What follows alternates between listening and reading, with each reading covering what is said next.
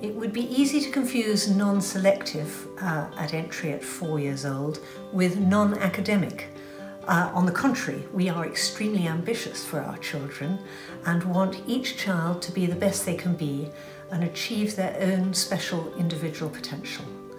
Each year we are delighted that our children achieve excellent results, often achieving scholarships not just in academics, but also in music, sport and drama.